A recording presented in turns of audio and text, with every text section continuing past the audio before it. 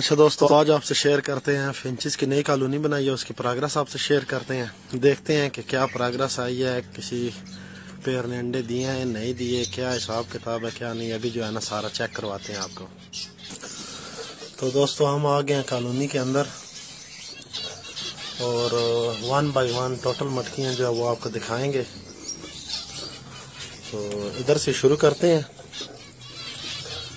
पहली मटकी से। नेस्टिंग शुरू कर दी इधर। इधर भी नेस्टिंग शुरू है, बल्कि एक एग भी ले कर दिया उन्होंने फिंचज ने। और इसकी भी नेस्टिंग कंप्लीट हो चुकी है। कल करीब एग ले करने वाली इधर भी। तो इधर भी नेस्टिंग कंप्लीट है। तो आज कल में एग ले कर देगी और इसे ऊपर वाले देखते हैं। इधर भी नेस्टिंग कंप्लीट हो चुकी है। तो आजकल में इसमें भी जो है वो एग ले कर देगी तो नीचे वाली में देखते हैं।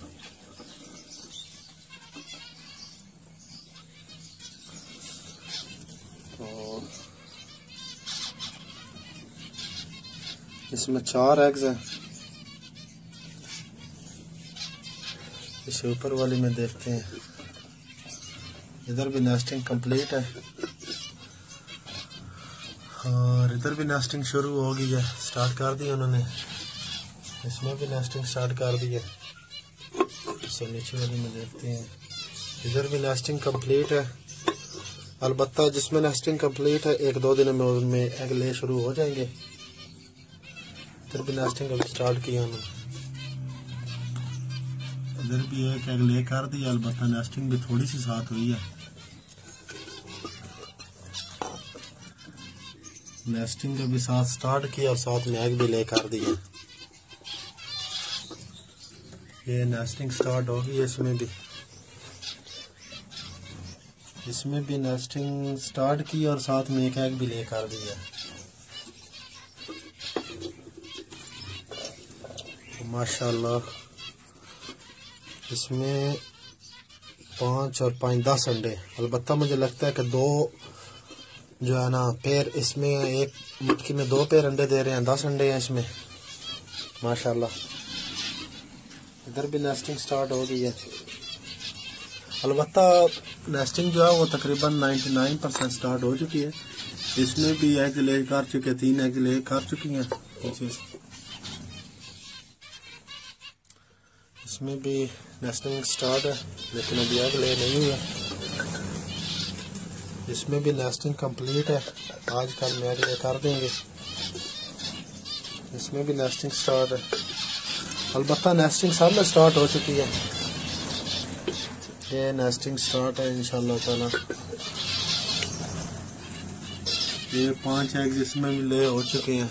माशाल्लाह सुपर वाली मटकी में इधर भी नेस्टिंग स्टार्ट है।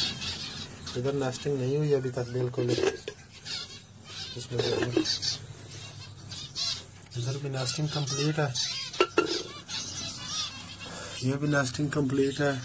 एक, दो दिन में तकरीबन जिस जिसमें नेस्टिंग कंप्लीट है, एक, दो दिन में उनमें एग जो है ना वो ले करना शुरू कर देंगे। और जिनमें नेस्टिंग अभी स्टार्ट हुई है तो वो जैसी नेस्टिंग कंप्लीट होगी तो उनमें भी जो है वो एग ले करना शुरू कर देंगे। तो अच्छा गाइज़ इसमें एक बात ये होती है कि कुछ कुछ में वो साथ में नेस्टिंग स्टार्ट कर देते हैं। और साथ में जो है ना नेस्टिंग स्टार्ट इसमें एग है।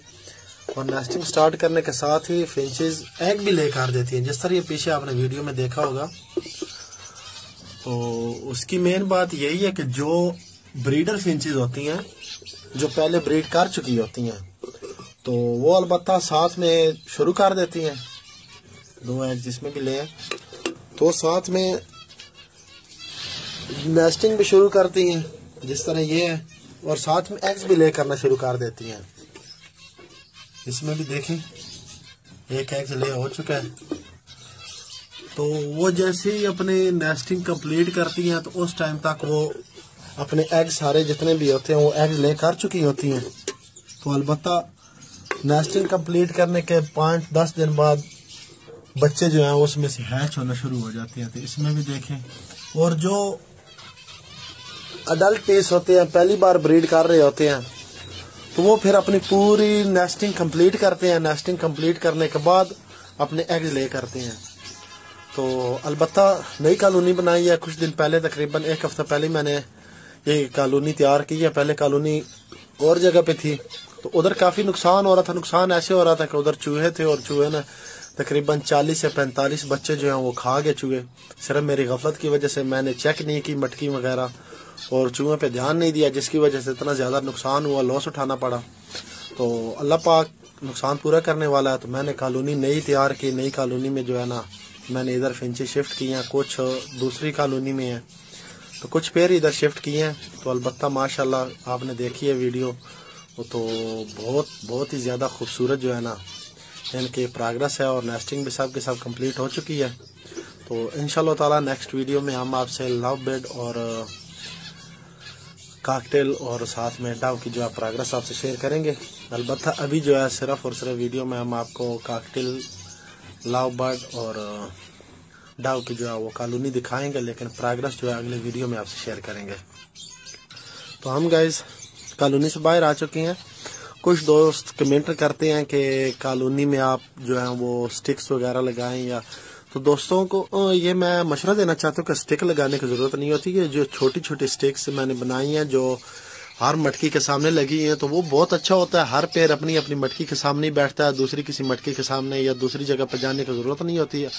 तो इधर से ही जो चिक्स निकलते हैं, उनको फ़ीड भी करवा देते हैं। तो ये बहुत ही अच्छा जो है बड़ी बड़ी स्टिक लगाने से बेहतर है कि ये छोटी सी स्टिक बंदा लगा देती है। दूसरी कॉलोनी की तरफ़ आते हैं। अलबत्ता बनाई ये भी मैंने लव बर्ड के लिए थी, पट्ठों के लिए पट्ठे इधर सारे छोड़े जाएँगे, लेकिन अभी जो है वो पट्ठे सेल्फ नहीं हुए। तो पट्ठों के लिए एक अलग और कॉलोनी भी बनाई है, उसमें सारे पट्टे छोड़ेंगे। तो इसमें फिल वक्त मैंने डाव छोड़ डाव के केज रखे हुए हैं। बारह पेयर डाव के हैं और तकरीबन आधे से ज़्यादा एग लेकर चुकी हैं। और चिक्स भी आए हुए हैं। तो एक पेयर इधर मैंने ब्लैक मास का छोड़ा हुआ है लाव का, और तीन पेयर काकटल के हैं इधर। और काकटल भी माशाल्लाह सब के सबने एग लेकर दिए हैं, चार चार, पाँच पाँच एग्स। और वो सामने लाव की कॉलोनी है। तो हम चलते हैं लाव की कॉलोनी की तरफ़। दोस्तों, शाम के टाइम जो ऊपर आप प्लास्टिक देख रहे होंगे, शाम के टाइम जैसे शाम होती है, शाम के अजान के टाइम ये प्लास्टिक नीचे कर देता हूँ। और अंदर जो है बैटरी वगैरह रखी हुई है, ये देखें। पूरा दिन चार्ज होती रहती है, बैटरी। तो रात के टाइम जितने भी सोलर पे सारी लाइटें वगैरह, इसकी भी और उधर भी जो है वो, उन कॉलोनीज की भी, शाम के टाइम जो है वो लाइटें वगैरह जला देता हूँ, बैटरी के ऊपर सोलर सिस्टम की है तो ये दोस्तों लवबर्ड की कॉलोनी है। तो अंदर जाके आपको व्यू दिखाता हूँ। तो ये दो सलाबट की है। ये केज मैंने लगाए हुए हैं इसमें। चार पैर हैं इसमें। एक में वो कामन रतीनों का, क्योंकि इसमें और रिंग रिंग बर्ड में फ़र्क होता है। अगर नार रिंग का और रिंग बर्ड का पैर लग जाए तो उससे मूल बच्चे पैदा होते हैं तो जो ब्रीड नहीं करते दोबारा। तो अलबत्ता ये है, आपके सामने है टोटल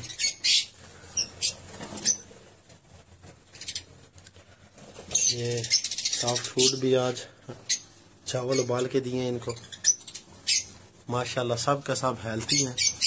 कुछ अरसा पहले बीमारी आई थी कॉलोनी में मेरे में। बीमारी नहीं थी, अलबत्त वो बीमारी नहीं होती। सोखड़ा है, सोखड़ा कोई बीमारी नहीं होती, उसके सिर्फ़ और से इलाज होता है, जो तकरीबन नुकसान भी हुआ मेरा, लेकिन मैंने सोखड़े के ऊपर काबू पा लिया और अल्हम्दुलिल्लाह अल्हम्दुलिल्लाह अल्लाह पाक का शुक्र है कि उसके बाद ना किसी बेड को सोखड़ा हुआ, बल्कि जिनको सोखड़ा हुआ भी था, वो सब के सब बिल्कुल हेल्दी हो चुके हैं। बिल्कुल, माशाल्लाह, ऐसे हेल्दी हुए तो दोबारा मुझे नहीं उम्मीद कि अल्लाह पाक के हुक्म के अलावा दोबारा इनको मेरी गफलत की वजह से सोखड़ा होगा। अलबत्त दोबारा सोखड़ा नहीं हुआ जिनको सोखड़ा हुआ तो सब के सब ठीक हो चुके हैं।